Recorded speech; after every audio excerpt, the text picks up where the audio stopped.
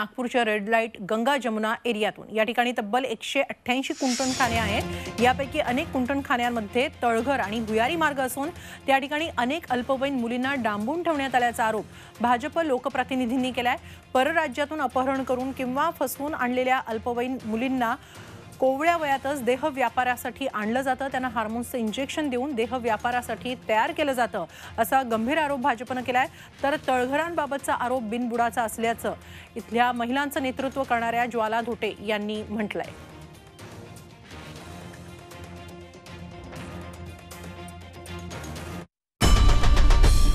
आई भवानीचा गजर. म्हणजे?